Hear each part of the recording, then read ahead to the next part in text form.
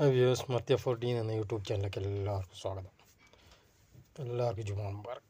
ഇന്ന് ഫ്രൈഡേ ആണ്. നല്ല അടിപൊളി മട്ടൻ ബിരിയാണി ഉണ്ടാക്കിയാലോ? അതിന്റെ ഒരു സിമ്പിൾ റെസിപ്പി അതാണ് നല്ല നല്ല അടിപൊളി നല്ല സോഫ്റ്റ് ആയിട്ടുള്ള മട്ടൻ നല്ല വേവിച്ച നല്ല അടിപൊളി മട്ടൻ ബിരിയാണി. അതെങ്ങനെ ഉണ്ടാക്കുന്നതെന്ന് ജസ്റ്റ് നോക്കി വരാം. ആദ്യം നമ്മൾ ക്ലീനാക്കി വൃത്തിയാക്കിയിട്ട് വെച്ച മട്ടന്.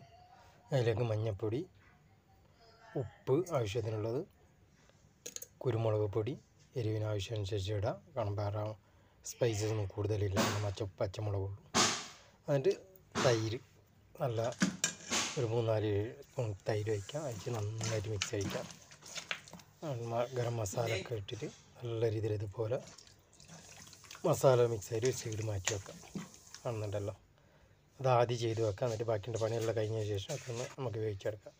അതിന് വേണ്ടി ഇതാ ഇഞ്ചി വെളുത്തുള്ളി പച്ചമുളകെല്ലാം മിക്സ് ചെയ്ത് പേസ്റ്റ് ആയിട്ട് എടുത്ത് ആ സമയത്ത് നമുക്ക് ഉള്ളി നല്ല ഫ്രൈ ആയിട്ട് എടുക്കാം അങ്ങനെ ഉള്ളി ഏകദേശം ഫ്രൈ ആയി ഇടാമെന്നുണ്ടെങ്കിൽ ഇതുപോലെ.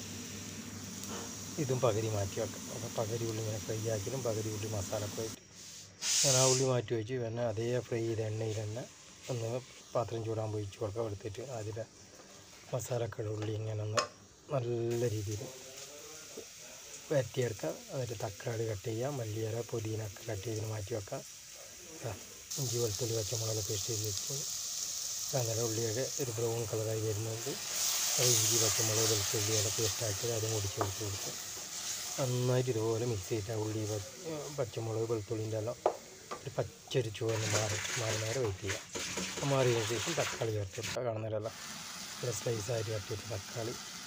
ആ തക്കാളി ഒന്ന് ഒടിഞ്ഞ് വരുന്ന സമയത്ത് അതിനകത്ത് മിക്സ് ചെയ്ത് വെച്ചാൽ മട്ടൻ ചേർത്ത് വെക്കാം മട്ടൻ ചേർത്തതിൽ ഓർമ്മ ഉണ്ടല്ലോ എന്തെല്ലാം മഞ്ഞൾപ്പൊടി ഉപ്പ് കുരുമുളക് മസാല ഗരം മസാല അല്പം വേണമെങ്കിൽ എന്താ വെച്ചാൽ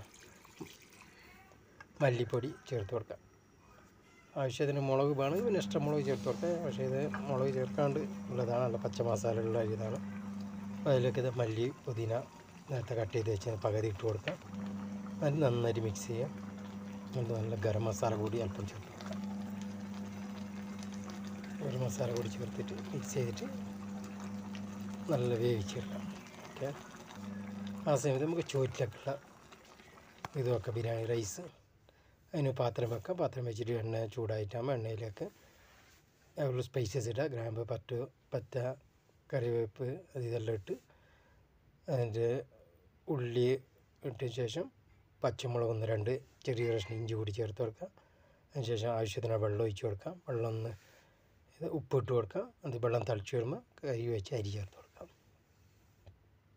ഇതാ അങ്ങനെ വെള്ളം നന്നായി തളിച്ച് വന്ന് അരിയെല്ലാം ചേർത്ത് കൊടുത്ത് ഒന്ന് നന്നായിട്ട് മിക്സ് ചെയ്ത് കൊടുത്ത് ഇതൊന്ന് വേകുന്നവരെ വെയിറ്റ് ചെയ്യാം.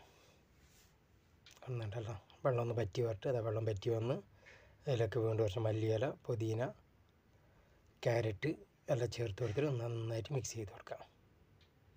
കാണുന്നുണ്ടല്ലോ ചോറുകൾ നല്ല ഒറ്ററ്റായിട്ട് വന്നിട്ടുണ്ട്. അതാ മുളക് മസാല മട്ടൻ നല്ല വെന്ത് റെഡി ആയിട്ടുണ്ട്. ഇതിലേക്ക് നേരത്തെ ഫ്രൈ ചെയ്ത ഉള്ളിന്റെ പകുതി ചേർത്ത് കൊടുക്കാം പകുതി ദമ്മിടുമ്പോൾ ദമ്മിടിലിട്ട് കൊടുക്കാം.